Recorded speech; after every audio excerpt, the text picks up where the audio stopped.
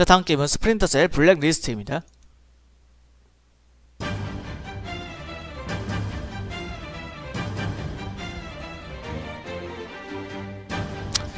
자 이 게임은 어... 딱 봐도 부제만 봐도 알, 알지 않겠나요? 예. 잠입 액션이에요 잠입 액션 대신 예, 그 잠입에 예, 굉장한 최첨단 장비들이 잠입 예, 물품으로서 사용하게끔 되어 있는 게임이고요.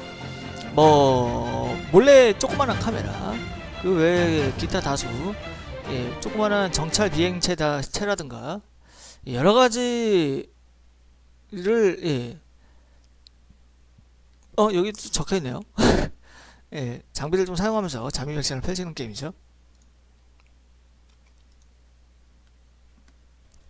자, 계속 가보도록 하죠. 아마 어, 이 게임도 거의 보는 사람이 없었어요, 사실. 사실 별로 없었고요. 예, 저는 그냥 잠입을 좀 아, 시다시피 예, 잠입하는 거 게임 좀 좋아하잖아요.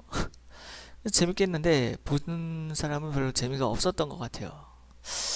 자, 그래서 안타깝게 음, 저는 개인적인 점수는 대략 한 어, 8점 정도 주고 싶은데요. 8점. 근데 시청자분과의 소통에서는 대략 6점도 못 맞을 한 6점? 예, 6점 주겠습니다. 8점과 6점. 예, 좀 안타깝죠. 내가 게임을 어, 재밌게 못한 부분도 있고, 예. 일단 화면을 좀 보도록 하죠.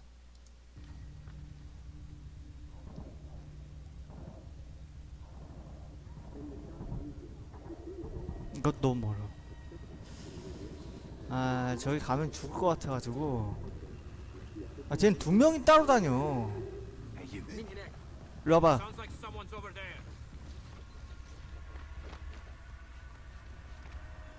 일로 와봐. 오!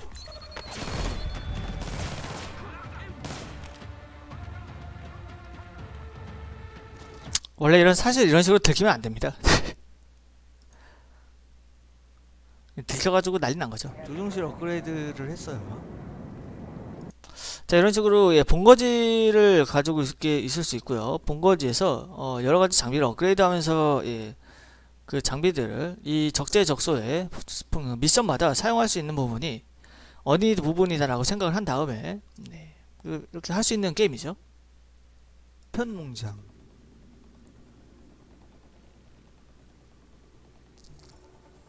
파키스탄 대사관 그리고 이에 어, 미션도 그냥 바로 그냥 다음 미션 다음 미션 다음 미션 이게 아니라 미션을 선택해서 할 수 있었다는 것도 참 예, 재밌었던 것 같아.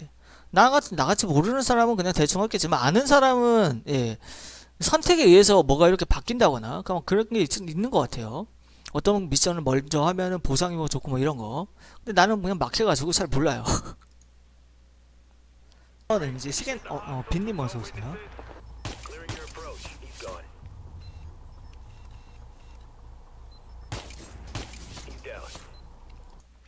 자 지금처럼 무슨 뭐한 비행체 가지고 순환을 하고 앉았죠. 예, 굉장히 채, 예, 첨단 무기에는 확실해요. 예, 이런 첨단 무기가 게임 곳곳에서 쓰이죠. 그런 거 쓰는 재미도 있지만 예, 역시 잠입 안 들키고 지나가는 거 그게 참 스릴 있게 재밌지. 자 그래서 이 게임은 총점은 8점과 6점 해서 14점이 되겠습니다. 자 스플린터 셀이었고요.